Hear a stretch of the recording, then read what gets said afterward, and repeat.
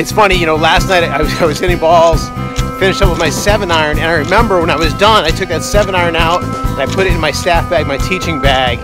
First of all, the seven iron.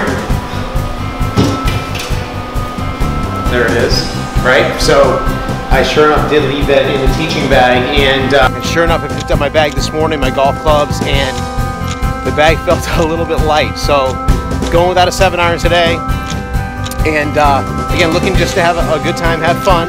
I'm going to be very, very judicious with use of the three wood. I'll even, uh, I'll even hit hybrid probably a couple times to be short rather than, you know, risk hitting a club I'm not really trusting right now. So, looking forward to having some fun today.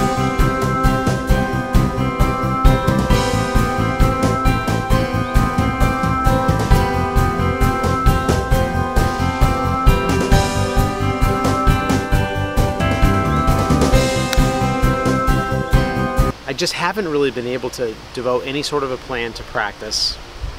And um, man, it was frustrating. I almost filmed myself during the round because it was I was frustrated in a way that I thought would come across on camera that I just can't I can't come across that way now. Um, it was one of those days where it seemed like it wasn't I wasn't that bad but it just seems like I never got a good thing to happen for me. Of course. Good. So sneaking up on you, Ralph. I'm sneaking up. Ultimate concentration. All right, so ultimate concentration. I didn't ask you about being on camera, but you're on the camera. All right, it's not live or anything. That's fine.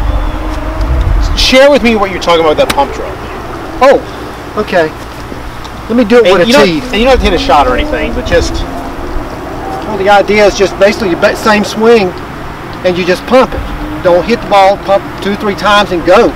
The thing I'm look, the thing I'm trying to accomplish is I want my lower body to move first and right. then work up. Right. That's what I'm trying to accomplish. I'm looking for make sure my body starts first and not my upper arms. I'm trying to keep from going over the top. That is my objective. Okay, so let's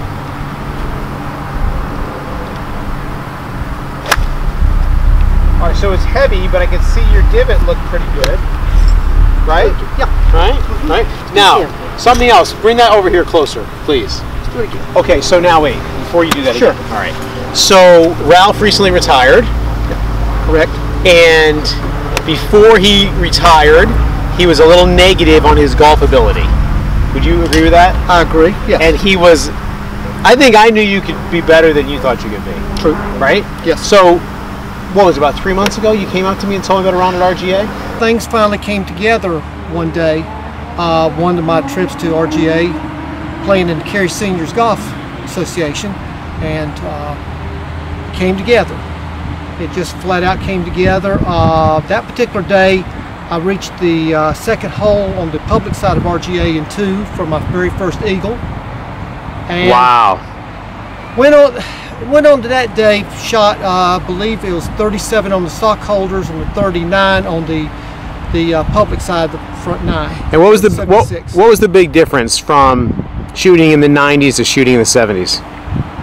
Uh, this particular situation, I was playing shorter tees, and also uh, my shots were uh, my second shots were anywhere from 80 to 90 to 100 yards in which uh, I'm going to put in another plug for you, Mike.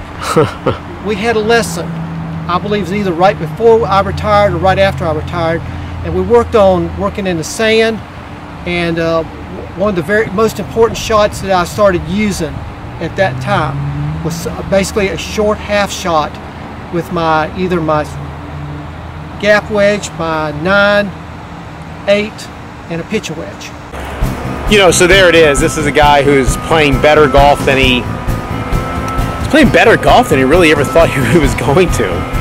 And I'm trying to play golf that just that I used to be able to play, but I'm not I'm not putting in the time. So I got to figure out a way to put in the time. Look at that guy back there.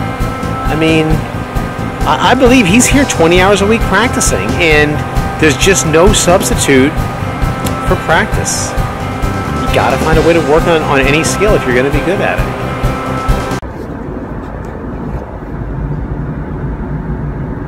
Saturday morning.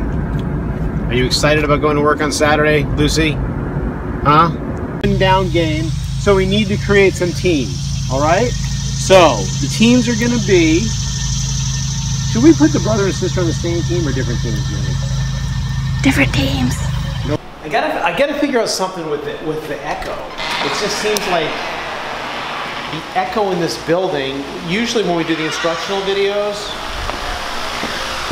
I've got a, I've got like a little wireless mic, and it, it works out pretty good, pretty well, I should say. It's a like a lav mic, but the uh, the mic, this we have a shotgun mic up here, and the echo just kills things. So